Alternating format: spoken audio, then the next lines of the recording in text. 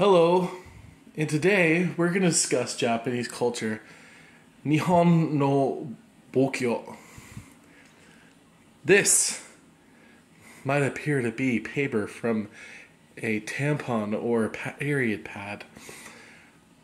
It is, but what you don't understand in this culture, they use this paper to help ward off demons, oni what they do is at the height of the period, the emotional portion of it, they take off the paper, this, kore, and the energy from the period goes into the yubi, the fingers.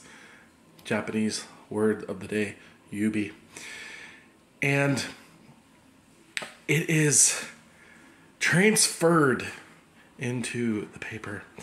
You hang it on one of your sliding doors because this is Japan. See this door? It slides. We don't have doors like America does, where with a handle. All doors they slide here. So you put that on the door. It wards off the oni. Because 10,000 years ago, a Shinto priest was arguing with his wife. But he came to find out that it was actually an Oni that came once a month and infected her. So he figured out a way to use the power of the Oni against the demon. That is all. Sayonara. Until next time. This is Japanese. This is Japanese culture lesson 101.